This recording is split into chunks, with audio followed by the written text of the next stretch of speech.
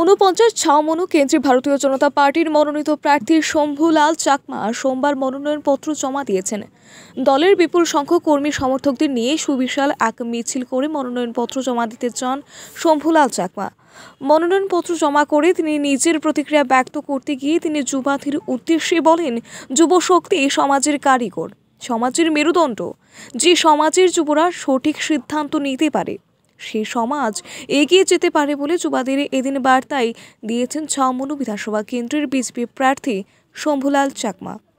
দুই হাজার তেইশের ইলেকশন নিয়ে আপনি ওর আপনার পার্টি কতটুকু কনফিডেন্স আর এটার জন্য কতটুকু তৈরি প্রস্তুত কতটুকু? আচ্ছা আচ্ছা। আমরা হান্ড্রেড পারসেন্ট কনফিডেন্ট আর প্রস্তুতি তো আমাদের একদম হান্ড্রেড পারসেন্ট। আপনাদের যারা এবার ইউথ আছে যারা ফার্স্ট টাইম ভোট দেবে তাদের জন্য কোনো একটা মেসেজ বা কোনো একটা অ্যাডভাইস অবভিয়াসলি যুব সমাজ, সমাজের কারিগর, সমাজের মেরুদণ্ড।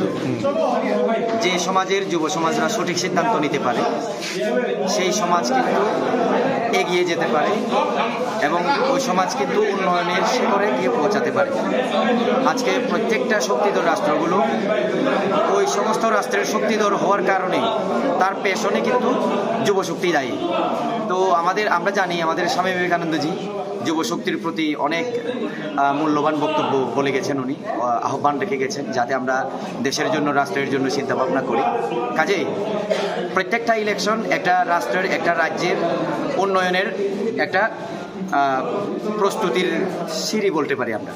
তো তার কারণে, কারণ সরকার যখন সুন্দর একটা সরকার প্রতিষ্ঠিত হয় সেই সরকারের যে সমস্ত ভাবধারা দু হাজার আঠেরো সালেও ছাউমনু বিধানসভা থেকে বিজেপির হয়ে লড়েছিলেন শম্ভুলাল চাকমা।